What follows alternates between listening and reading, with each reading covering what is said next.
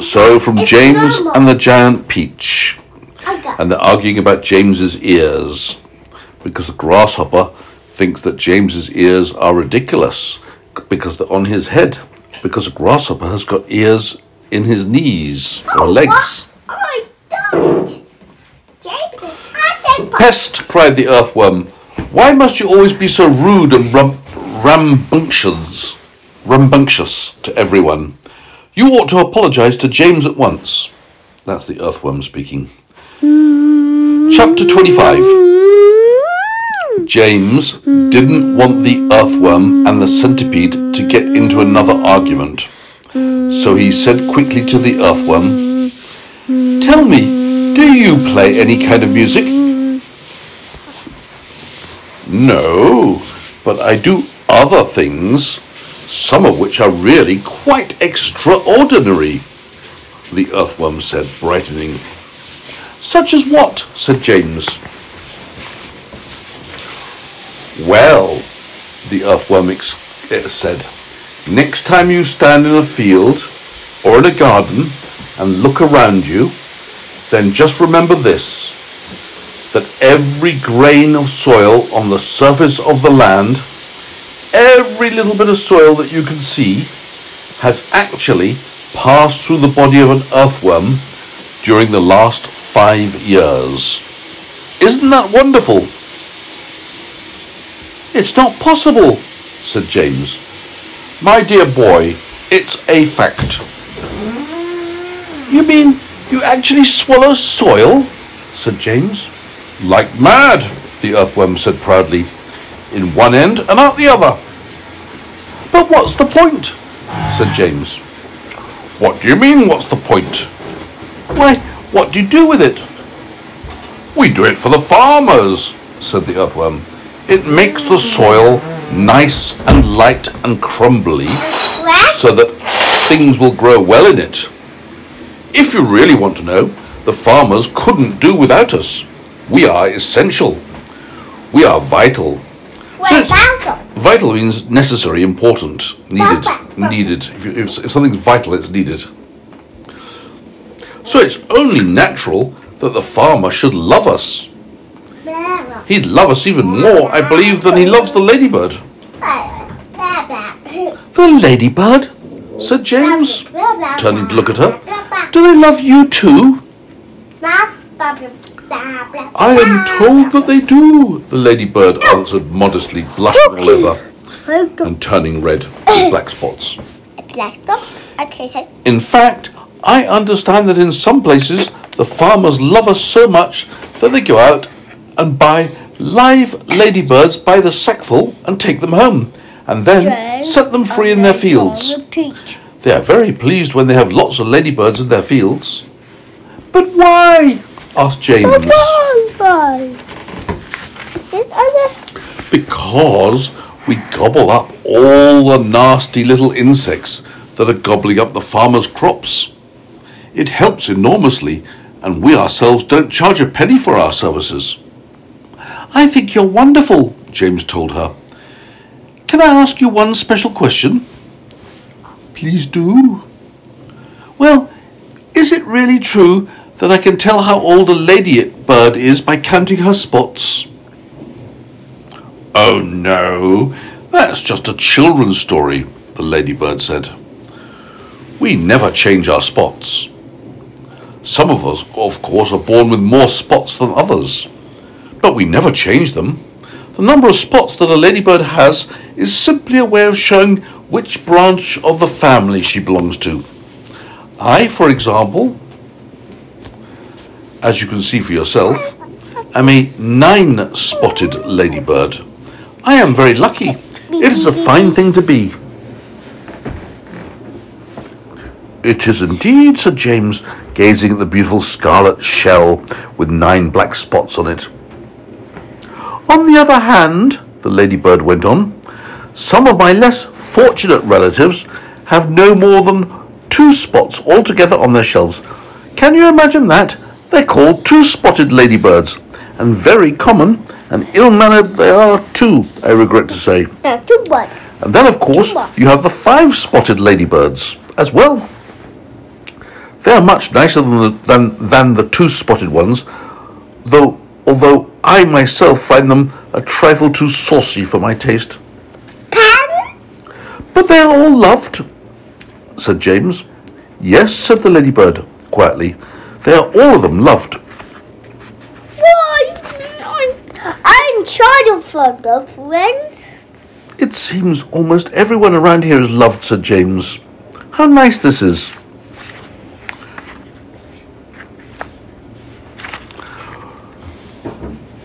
Not me, cried the centipede happily.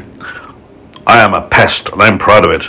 Oh, I am such a shocking, dreadful pest. Hear, hear, the other earthworm said. But what about you, Mother Spider? asked James. But Aren't you also much loved in the why, world? why, is, why is mother? Alas, no, Miss Spider Mum, answered, Daddy- sighing long and loud. Daddy, I am not loved what- at all. And Daddy, why spider or ladybug is loved? Well, apparently the spider is not loved, and we'll find out why not. Lie down, but the ladybird is loved because it eats all the nasty bugs in the farmer's field. So the farmers like Uh, the ladybirds. but, but, who's, but who's loved? The ladybird is loved. But, but who's the, who's the mother? But, but I hear the mother. There's no mother. Uh, But it's a word called mother. But um, i- is the spider the mum? No. Well, it could be a mummy spider, but it doesn't say. I don't know yes, exactly. it says. So the ask, James is asking about the spider to see if the spider's loved. And the spider replies, I am not loved at all, and yet I do nothing but good. All day long I catch flies and mosquitoes in my webs. I am a decent person. I know you are, said James. It's very unfair the way we spiders are treated, Miss Spider went on. Why, only last week your own horrible Aunt Sponge flushed my poor dear father down the plug hole in the bathtub. Oh, how awful, said James. I watched the whole thing from a corner up in the ceiling, Miss Spider murmured. It was ghastly. We never saw him again. A large tear rolled down her cheek and fell with a splash on the floor. What? Why Why? Why splash? For? when, when the tears drop on the floor, they splash. They go. Mm. But isn't it very unlucky to kill a spider? James inquired, looking around at the others. of course, it's unlucky to kill a spider! shouted the centipede. It's all. It's about the unluckiest thing anyone can do. Look what happened to Aunt Sponge after she'd done that. Bump! We all felt it didn't we, as the peach went over her? Oh, what a lovely bump that must have been for you, Miss Spider. It was very satisfactory, Miss Spider answered. Will you sing us each a song about it, please? So the centipede did, and here's the song. Aunt Sponge was terribly fat and tremendously flabby at that. Her tummy and waist were as soggy as paste. It was worse on the place where she sat. So she said, I must make myself flat. I must make myself sleek as a cat. I shall do without dinner to make myself thinner. But along came the peach, oh, the beautiful peach, and made her far thinner than that. Oh, that was very nice, Miss Spider said. Now sing sing one about Aunt Spiker. With pleasure, the centipede answered, grinning. Aunt Spiker was thin as a wire, and dry as a bone, only drier. She was so long and thin, if you carried her in a tin, you could hear, you could use her for packing the, for poking the fire. I must do something quickly, she frowned. I want fat, I want pound upon pound. I must eat lots and lots of marshmallows and chocks till I start bulging all around. Ah, yes, she announced, I have sworn that I'll alter my figure by dawn. Cried the peach with a snigger, I'll give you your figure and and her out on the lawn. Everybody clapped and called out for more songs from the centipede, who at once launched into his favourite song of all. Are you ready for it? Yes. And this is the end of the chapter when we finish the song. No.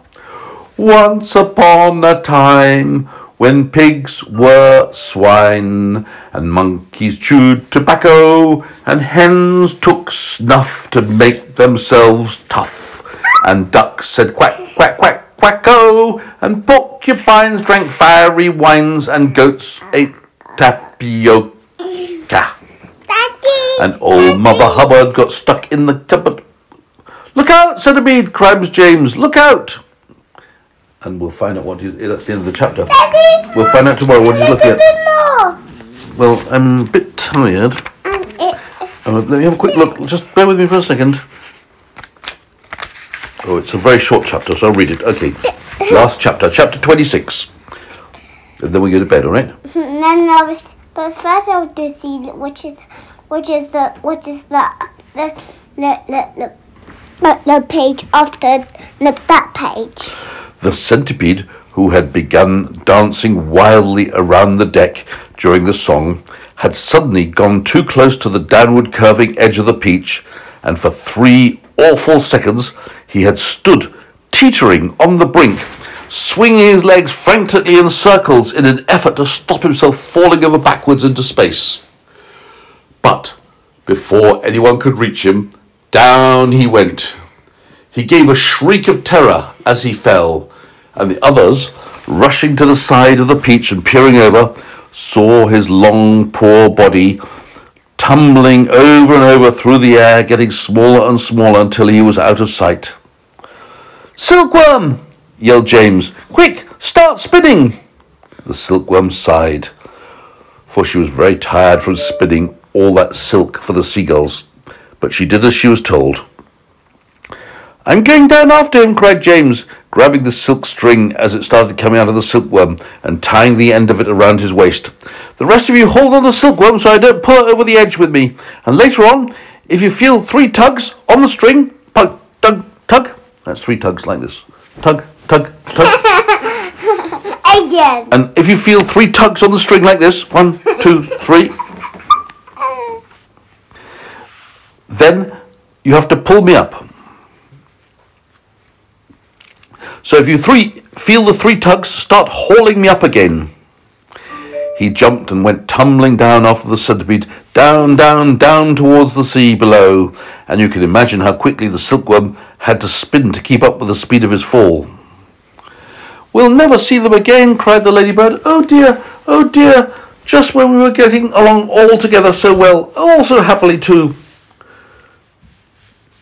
Miss Spider, the glowworm, and the ladybird all began to cry.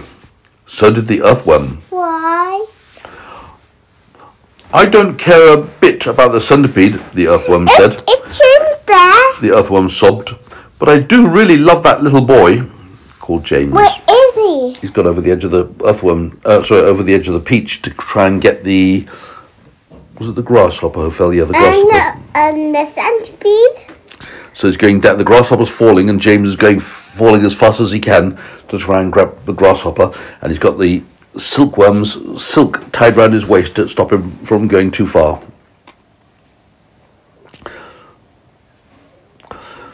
Miss Spider, the glowworm, and the ladybird all began to cry. So did the earthworm. I don't care a bit about the centipede, the earthworm said, sobbed. But I do, I did, I really did love that boy.